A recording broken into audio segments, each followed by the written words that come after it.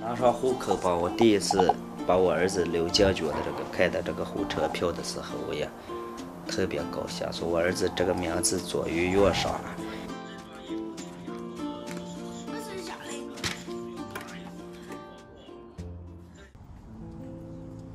提起往事了，我心里难受，引起很多朋友心里的难受，所以大家不忘为好啊。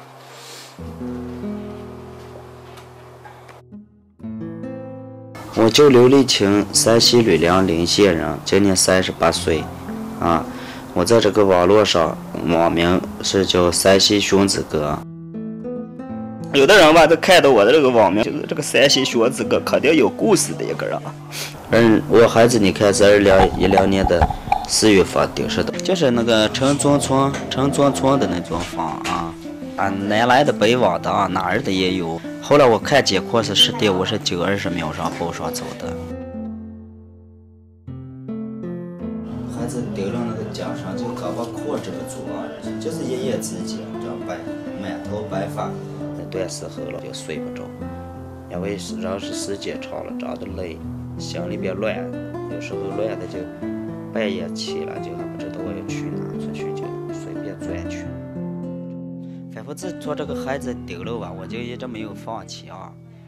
啊，十年跑遍了大半个中国啊，很多地方都去过了啊。最远吧，那就是那些广州那地方，福建啊。主要是我这这一个难，真的特别难。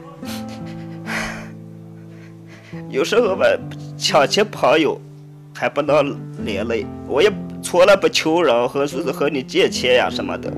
那出去那个，我们上个没住的地方了，在那夏天了，桥垛底下都住了啊。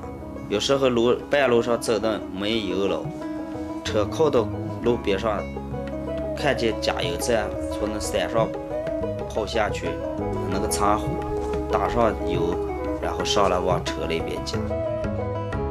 他说我也玩玩啊，学的就是为了找这个孩子。我建了一个山西学子个爱心圈。建了一个山西学子家长群，还建了一个学找孩子孩子找家的一个群，我建了好几个群啊！大家这次都一起学找啊，都是互相帮助。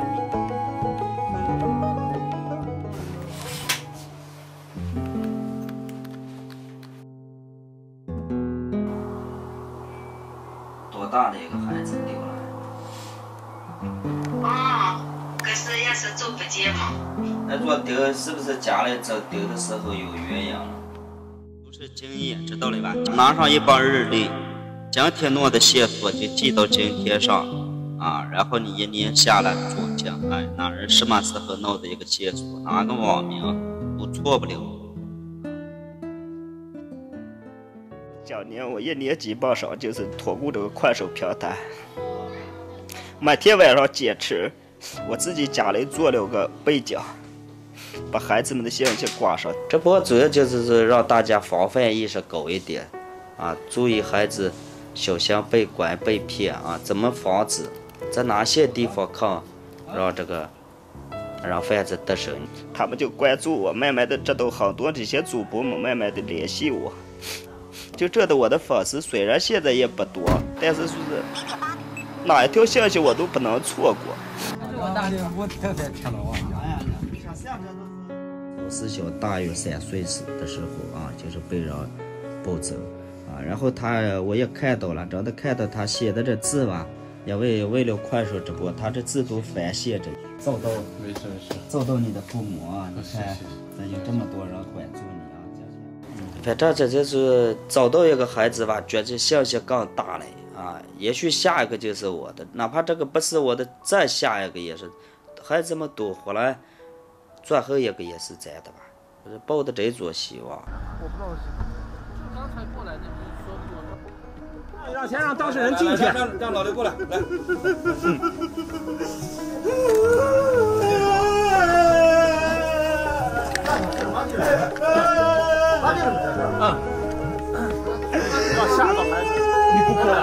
立起立起，不了，别吓着孩子。往后退，往后退，放开，起来。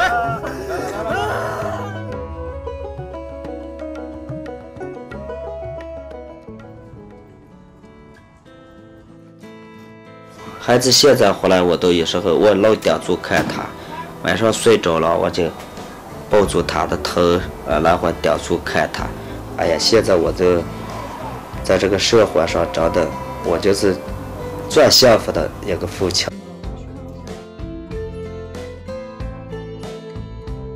相比我孩子现在找到了，我想的是尽我的最大的能力，帮助更多的家庭，帮助这些丢失的孩子。反正是能帮助一个算一个，两个算两个，反正是准备这个继续做，继续做下去。